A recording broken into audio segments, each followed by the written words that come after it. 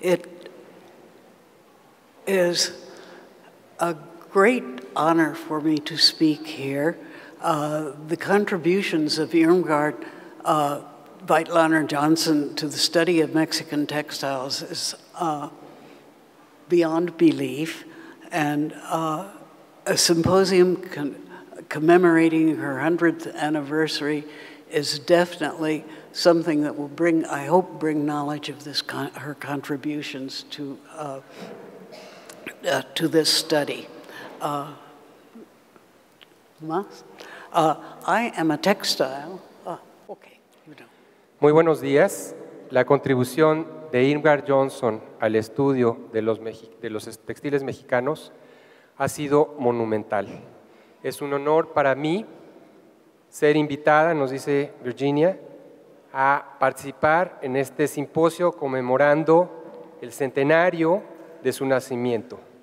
Es un honor sin paralelo en mi vida. I am a textile artist and a researcher in the ethnography of textiles. My weaving teacher, uh, Sandy Harner, was a product of Ed Rosbach's program in decorative arts at the University of California in Berkeley. This program, started by Alfred Kroeber, uh, uh, Lila O'Neale from combined the study of decorative arts and anthropology. Alfred Kroeber was initially uh, the anthropologist that Irmgard studied with uh, at uh, Berkeley.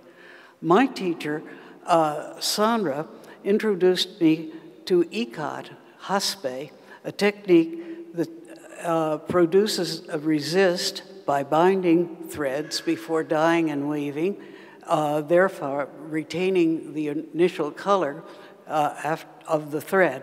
I became interested not only in uh, jaspe, but also in other resist techniques done on finished cloth, uh, stitch and resist, me mechanical processes, and uh, one where you use substances like uh, wax or uh, starch. In my own, uh, it was my passion for these techniques that led me uh, to contact Irmgard.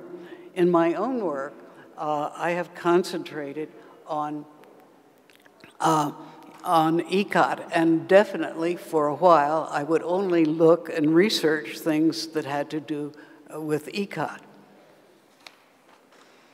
Soy una artista textil y soy una investigadora en la etnografía de los textiles.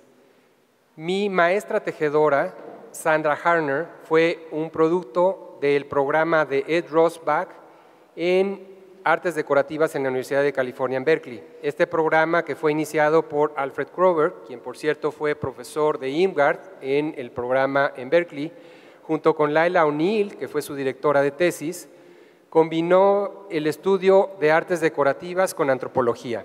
Sandra me introdujo al ICAT, una técnica que produce una reserva al envolver hilos antes de teñir y tejer. Me interesó no solamente el ICAT, sino también otras técnicas de reserva que se hacen sobre la tela terminada, es decir, después del tejer, usando ya sea pespuntes o amarres, o también sustancias como el almidón o la cera. Fue mi pasión por las técnicas de reserva la que eventualmente me condujo a contactar a Ingvar. En mi propio trabajo artístico me he concentrado en el ICAT.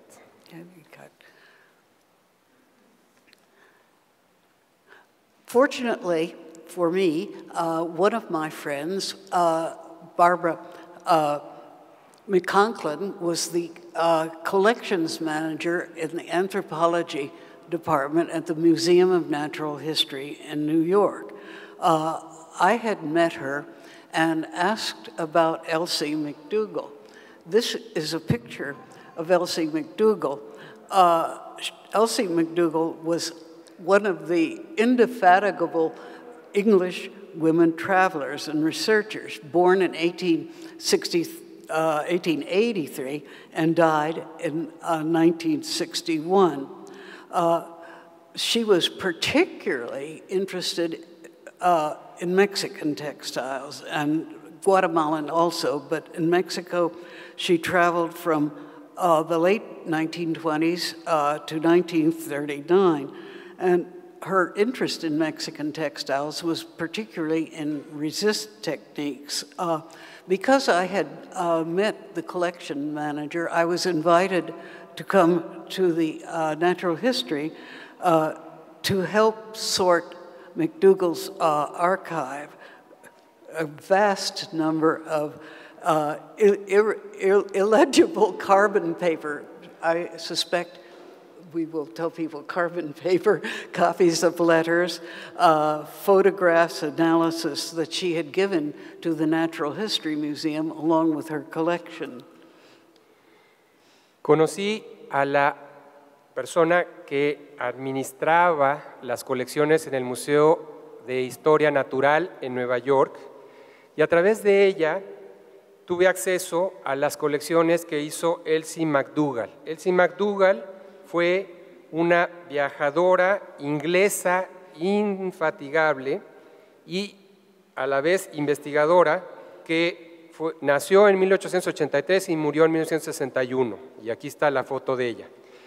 Durante los años 1980 yo trabajé en el Museo Americano de Historia Natural de Nueva York, ayudando con la colección extraordinariamente amplia de no solamente textiles, sino también cartas y fotografías que ella había donado al museo. Y fueron, nos dice, documentos muy difíciles de trabajar porque eran copias en papel carbón y estaban prácticamente ilegibles. McDougall había hecho trabajo extenso explorando México y Guatemala, investigando sus textiles de fines de la década de 1920 a 1939. Y ella estaba especialmente interesada en los teñidos de reserva. Uh, Irmgard had met uh, had met McDonald at the McDougall, McDougall, McDougall, not a hamburger. uh, Irmgard had met McDougall at the English Embassy in Mexico in the early 1930s and maintained a relationship with her. She, along with other students, actually worked for McDougall in 1935 near Zimapan, Hidalgo. Uh, McDonald was researching stitch and tie processes, uh, which was used on aprons and skirts delantal uh, y falda. Because of my own special interest, I focused on a particular Jaspe rebozo in, uh, recorded in McDougall's uh, archive with pictures. She had collected this uh, particular rebozo in Tenancingo.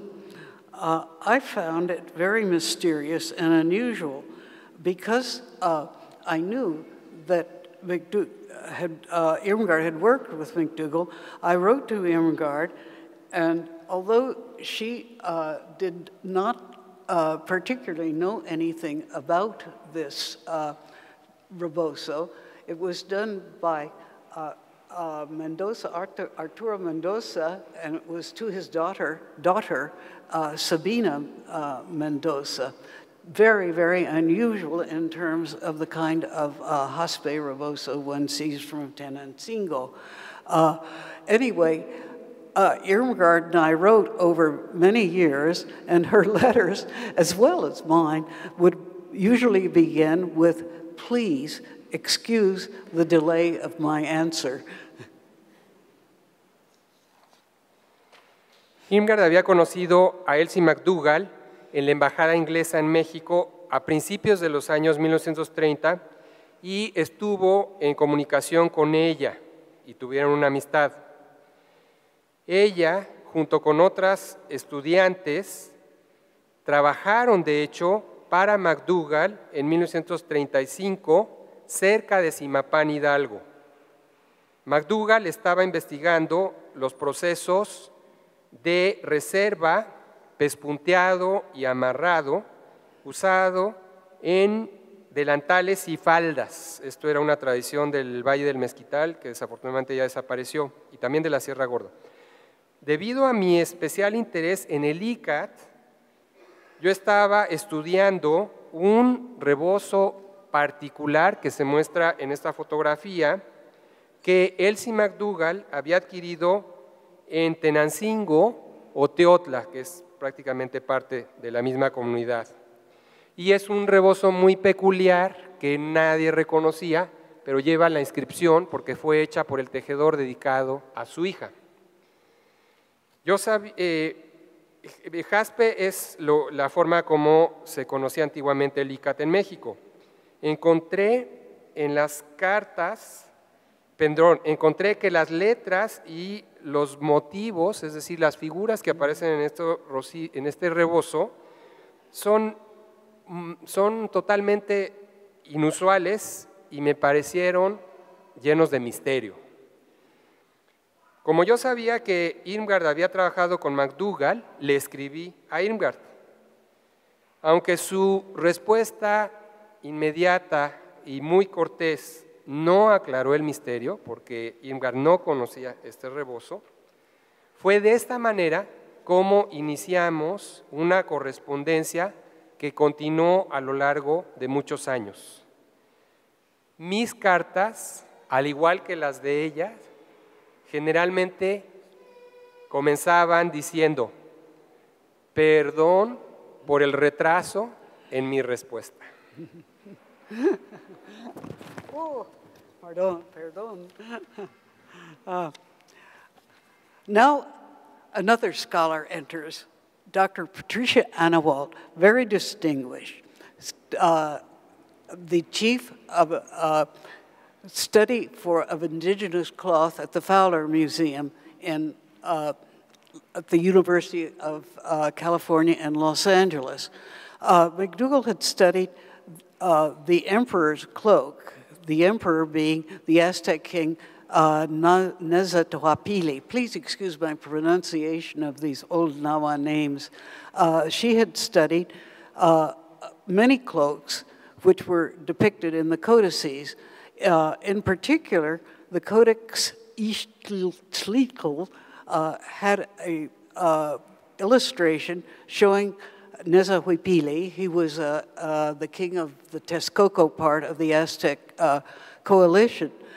he was wearing a cloak called uh, Huitlapile. Huitla means blue or kind of an azure uh, green blue, and uh, tlapili means knotted. Uh, this comes from a dictionary by uh, Frau, Friar uh, Andres Molina, who did a dictionary of uh, Spanish Nahua in six, 1655. In any case, 15, sorry, 1555. Thank you. Uh, uh, the designs on the cloak seem to have been made using a resist, uh, uh, pardon, the cloak uh, seem to have been made using a tie resist, uh, either that or a wax or uh, uh, rosin. I was able, and here is the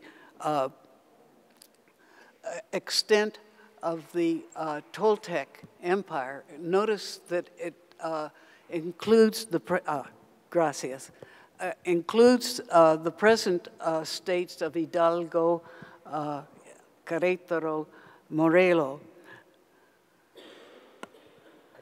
Oh, I could, I, it would be all right. in any case, this is my replication using a tie resist with Ixtli fiber. Uh, I, uh, uh, my colleague Pam Scheinman did a replication using uh, wax. I think that, uh, I'm sorry, don't have a picture. I suspect that uh, it there was some combination of the two. In any case, this, it, I'm sorry oh, closer. Uh, it was uh,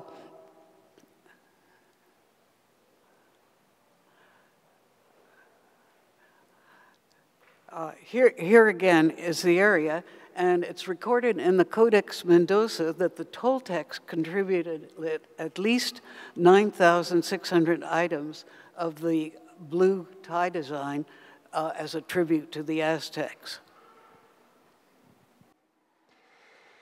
La doctora Patricia Anawalt, investigadora de la Universidad de California en Los Ángeles, había estudiado la tilma imperial representada en los códices, por ejemplo en el códice Istlilxochitl, y se registra el término Xiutlapili, que es, traduce ella con base en el diccionario de Molina del siglo XVI, la etimología, sería Xiut, que sería azul, y Tlaspili, que sería amarrado.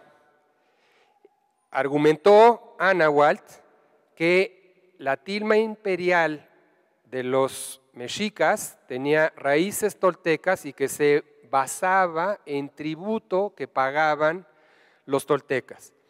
Los diseños del manto que aparece vistiendo Nezahualpili en el Códice Xochitl parecieran haber sido logrados empleando la técnica de reserva, ya sea con amarres o empleando una sustancia, ya sea cera o resina.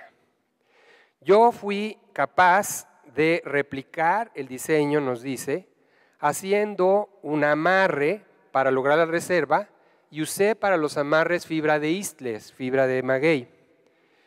Pamela Scheinman, colega de Virginia, también logró replicar el diseño, pero usando una sustancia para la reserva.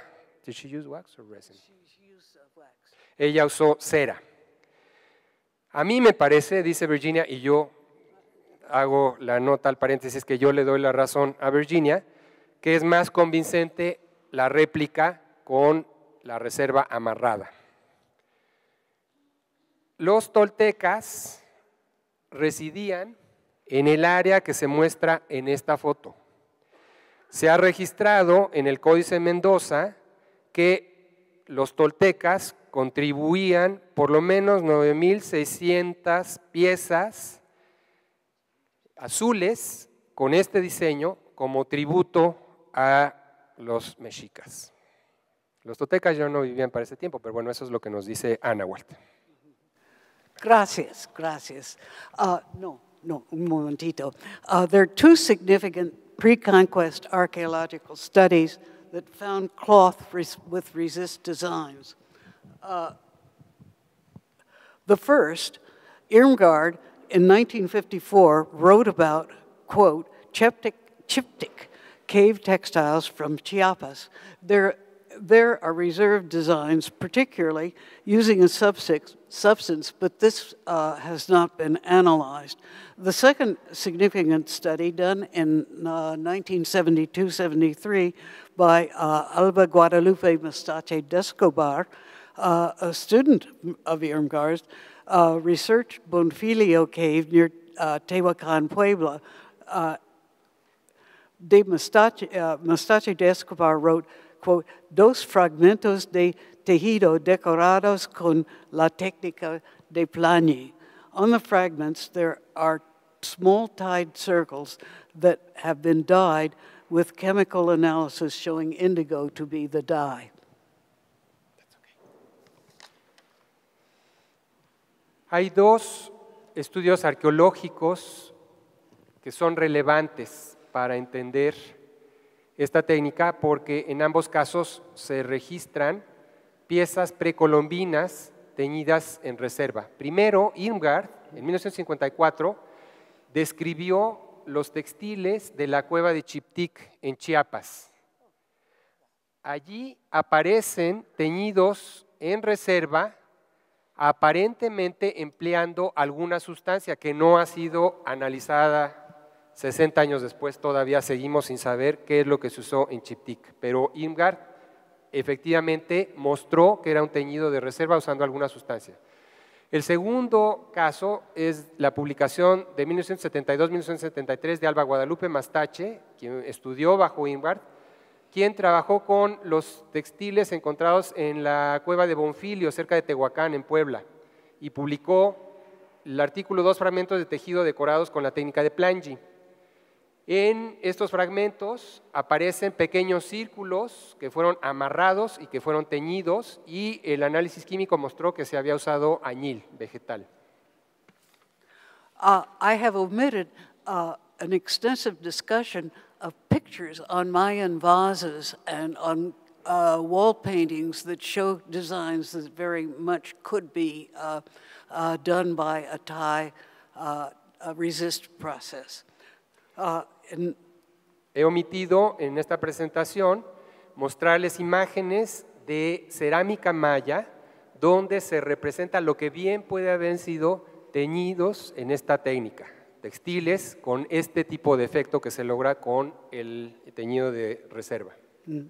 In 1994, I was a resident at the Cité Internationale des Arts in Paris. Uh, at the Musée de l'Homme, uh, I was able to receive access to the Mexican textiles in their storage. Uh, with the helpful aid and knowledge of the curator of textiles, Francois Cousin, I saw many, but I was amazed by one in particular. Uh, uh, it was a 20th century example of a stitch and tie skirt, uh, uh, resist skirt given by Guy Stresser-Pean. Furthermore, it came from Vizarrón, Querétaro, which is well within Toltec boundaries. En 1994 fui investigador residente en la Ciudad Internacional de las Artes en París. En el Museo del Hombre me permitieron el acceso a la colección de textiles mexicanos en su bodega. Con la ayuda del curador muy eficiente y muy conocedor de textiles, François Cousin, más bien curadora, vi varios textiles, pero me llamó la atención en especial uno, una falda o enagua, de los años, eh, o sea, del siglo pasado, que es un ejemplo del el teñido de reserva pespunteado y amarrado, que fue donado por el investigador Guy Streserpion y que venía de Bizarrón Querétaro, quien en la interpretación de Walt está dentro de la frontera tolteca. my obsession with only Haspe uh, was sidelined, and I became interested in the stitch resist skirts. And soon after, uh, I returned to New York. I returned to the McDougall archive.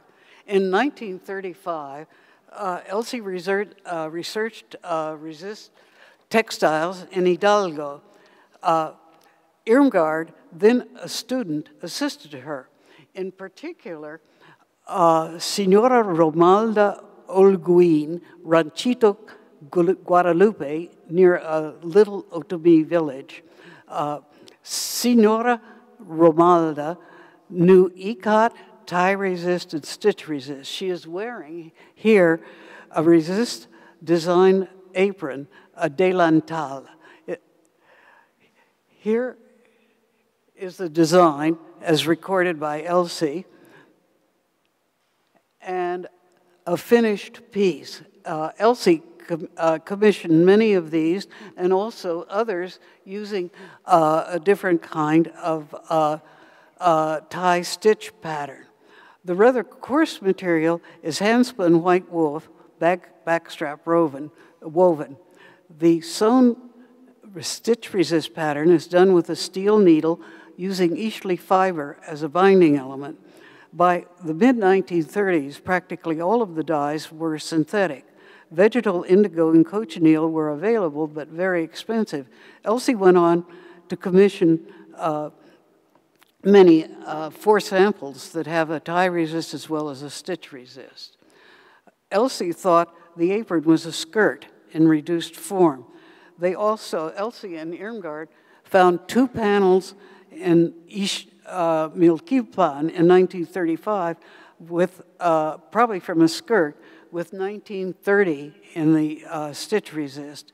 This is only a border in a skirt there was no uh, tie design in the uh, rest of the skirt. There were other skirts made at that time that had elaborate repeating geometric designs in the entire skirt. Oops, here we go. Sorry. Mi interés se había excitado después de estar obsesionada, nos dice, con los teñidos de ICAT y hice una pequeña desviación en mi trabajo para enfocarme en estos teñidos de reserva anudada y pespunteada. Así que poco tiempo después de que regresé a Nueva York, volví al archivo de Elsie McDougall. En 1935, Elsie había estudiado textiles en el estado de Hidalgo. Irmgard, quien entonces era estudiante, le había ayudado en su trabajo de campo. En especial, Elsie había documentado el trabajo de una tejedora y tintorera grande de edad y muy experta, la señora Romualda Holguín, en el rancho de Guadalupe, una ranchería otomí en el municipio de Simapán. La señora Romualda conocía las técnicas del ICAT, pero también del teñido de reserva anudada y el teñido de reserva pespunteada. En esta fotografía, ¿nos regresamos en las fotos? En esta fotografía ella está vistiendo un delantal teñido en esta técnica. Sí comisionó a la señora Romualda que le hiciera un delantal. Aquí está ahora el diseño de la pieza terminada. La tela de base es más bien burda, de lana hilada a mano, tejida en telar de cintura.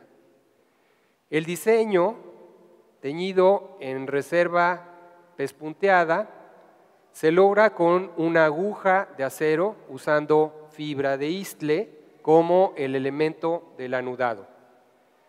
Para los, para los años 1930 prácticamente todos los tintes ya eran sintéticos pero todavía se conseguía añil vegetal y se conseguía grana, aunque eran caros.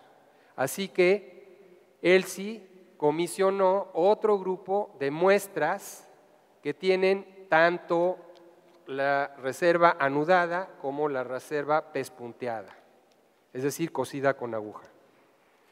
Elsie pensaba que el delantal era en realidad una falda en forma reducida. Elsie e Irmgard encontraron en Izmiquilpan, Hidalgo, en 1935, dos lienzos que probablemente eran de una falda, de una enagua, y que están fechadas, tienen la fecha 1930 como parte del diseño. Esta es nada más el ruedo de la negua, es decir, la parte inferior con diseño, y no aparece ninguna otra decoración en el resto de la enagua.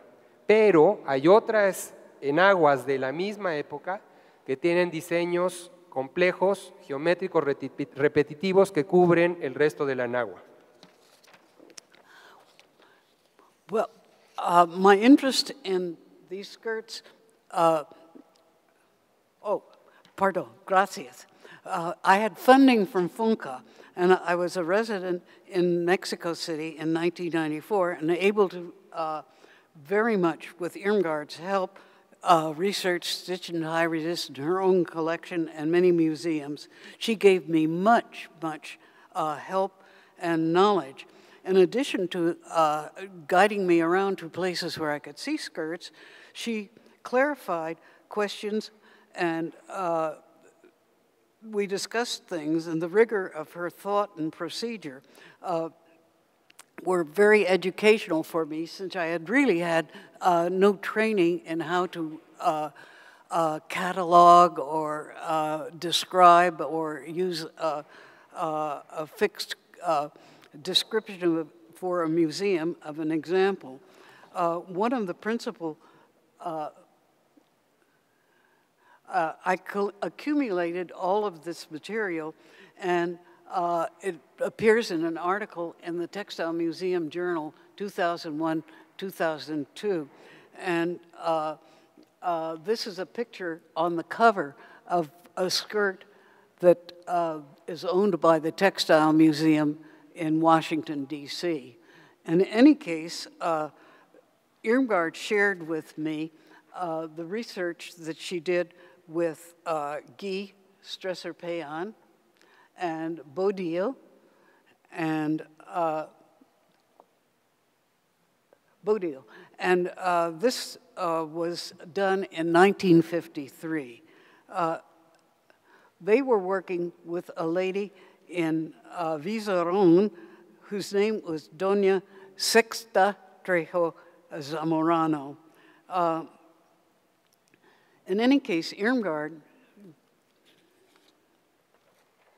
Con financiamiento del FONCA, fui investigadora residente en la Ciudad de México en 1994 y pude hacer investigación acerca de ejemplos, principalmente en aguas de esta técnica, en museos y en la propia colección de Irmgard. Me dio una ayuda invaluable en la investigación sobre estas enaguas. Además de su generosidad, aprecio mucho las preguntas que ella me planteó porque me ayudaron a clarificar mi propia eh, visión de mi investigación y le agradezco también el rigor de su pensamiento y de su procedimiento. Me ayudó a ubicar y a registrar ejemplos adicionales.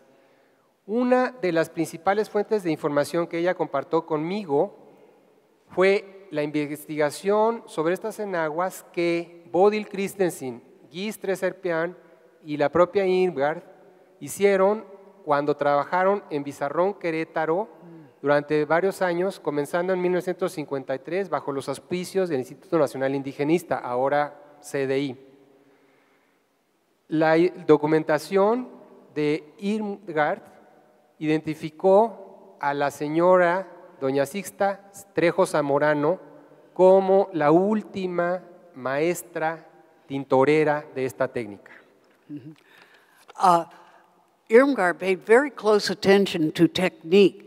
So I will show rather rapidly a series of pictures where she is recording the uh, uh, technique of making uh, the design for stitch and uh, tie resist. Mi fascinación con estas piezas continuó y logramos ubicar 30 en diferentes colecciones y les quiero mostrar algunos ejemplos. So here we are with the pattern set up for stitching on the cloth. Don, Doña Sixta's mother, uh, Senora Vega, called the cloth tela amarrada. Each of the skirts uh, documented is sewn into a waistband, unlike the uh, enredo. And here are detailed pictures of some of the stitch patterns to make uh, the design. Nos estaba mostrando Virginia diferentes muestras de la técnica, diferentes diseños, y nos dice que la madre de Doña Sixta llamaba a estos lienzos tela amarrada, era como se conocían en el español campesino de esa zona. So, uh, anyway, because of this research uh, done by uh, uh, Irmgard, Guy, and Bodil, it's possible to identify and attribute uh, skirts coming from Vizarrón. Uh, in any case, she helped me identify skirts from other museums, and in particular, she had worked until 76 at the Museum Nacional de Antropología. Uh, through the 60s and 70s, the quality of skirts de declined and almost vanishing. During the Holy Week of 1977 in uh, El Doctor Querétaro, Dr. Ruth Lechuga, ah, picture, Dr. Ruth Lechuga and Marta Turok, located in Artisan in a remote ranch near Sombrerete, uh, a, a, a, weaver and uh, again also someone who knew many techniques uh, but hadn't really done them for 20 years any case, uh, uh, her name was uh, Senora Aguilar and Dolores Aguilar. She used unspun Ishli and did a simple repeat and dyed uh, a scarf. Gracias a este trabajo de Imgar, de Bodil y de Guy, fue posible identificar y atribuir las enaguas de Bizarrón Querétaro. Tienen diseños muy elaborados, tres colores, varias de ellas, y están plisadas a la cintura en una pretina. Imgar identificó enaguas de la misma procedencia en otras colecciones de museos. En los años 1960 y 1970, la calidad y la cantidad de estas enaguas disminuyó hasta desaparecer por completo.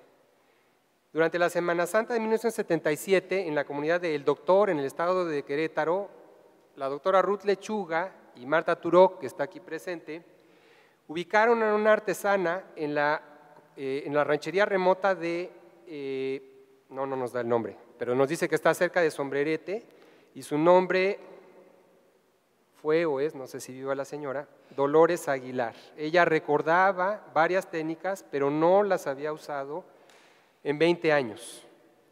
Sobre de una tela burda de lana, utilizando isle sin hilar, sin torcer, ella cosía diseños muy sencillos, repetitivos, para teñir eh, una bufanda empleando tintes sintéticos, y este es el ejemplo que nos muestra.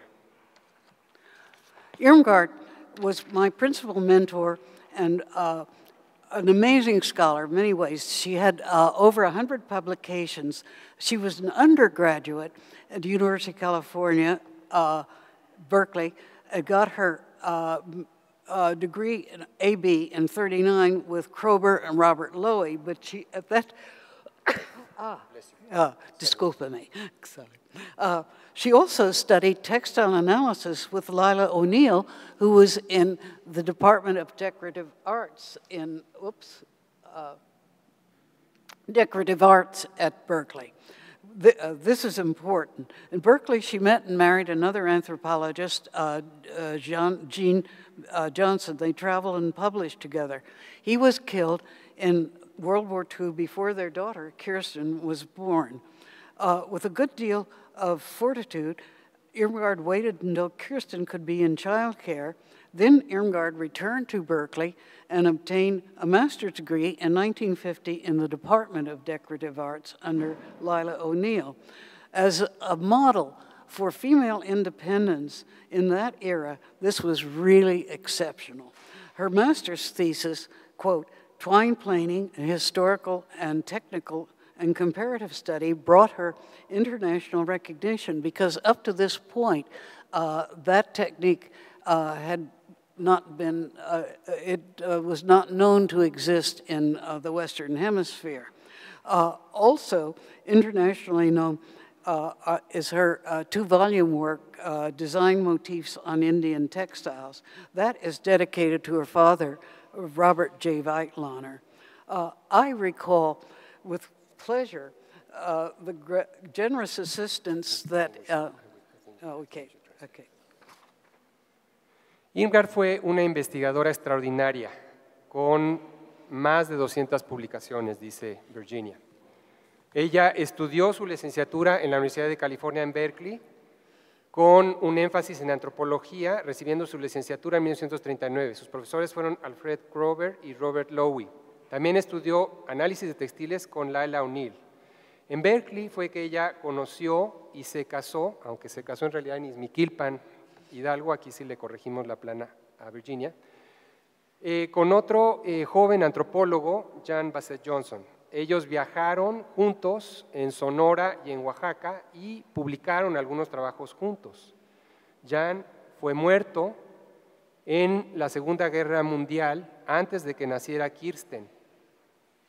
Fue extraordinaria la fortaleza de Imgard para esperar hasta que Kirsten pudiera ir a la guardería y entonces ella regresó a Berkeley para obtener su maestría en 1950 en el Departamento de Artes Decorativas, debajo de la dirección de Laila O'Neill y Anne Gayton. Ingman es realmente un modelo de independencia de mujer, de mujer sola, que para esos años nos es excepcional. Su tesis de maestría que se enfocó en la técnica del el enlazado de urdimbre sin trama, dándonos una perspectiva histórica, técnica y comparativa.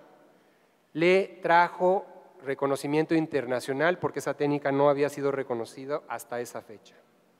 Y no se conocía para nada su presencia en el hemisferio occidental, o sea, en las Américas. También de reconocimiento internacional es su publicación de dos volúmenes, Diseños de los textiles indígenas mexicanos. Y esta publicación está dedicada a su padre, Roberto Weitlaner, un antropólogo eminente. I recall with great pleasure the assistance that Irmgard gave me. It was always wonderful to speak with her, and we had uh, much in the way of uh, humor. This is dancing in a skirt, and uh, I always gained a lot of insight from uh, our conversations. Viva Irmgard.